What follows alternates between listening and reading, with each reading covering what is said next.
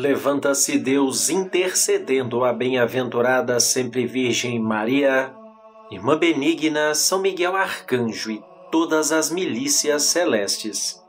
Sejam dispersos seus inimigos e fujam de sua face todos que vos odeiam. Em nome do Pai, do Filho e do Espírito Santo.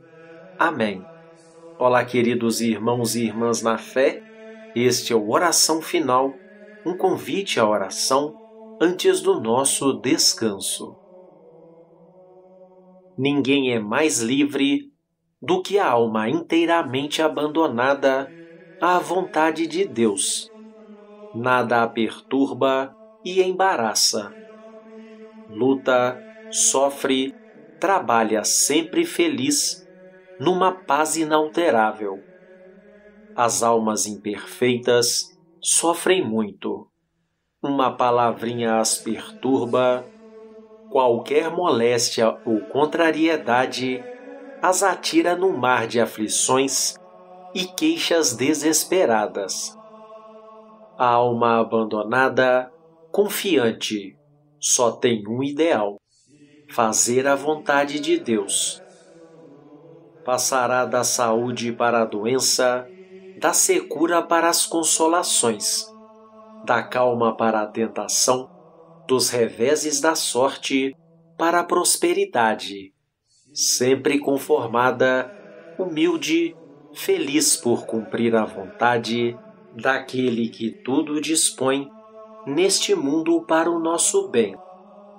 É a santa liberdade dos filhos de Deus, dos discípulos fiéis da cruz se há alguma coisa, diz Bossuet, capaz de tornar livre um coração, é o perfeito abandono a Deus, à sua santíssima vontade.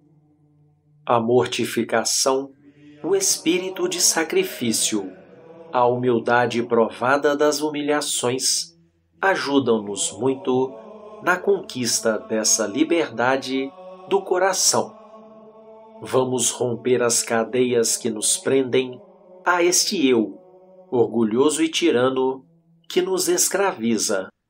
E cantaremos então como salmista: Quebrai, Senhor, as minhas cadeias. Eu vos sacrificarei uma hóstia de louvor.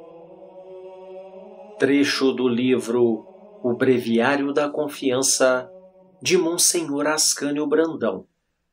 Meditemos nestas palavras e oremos juntos. Pai nosso que estais nos céus, santificado seja o vosso nome. Venha a nós o vosso reino. Seja feito a vossa vontade, assim na terra como no céu.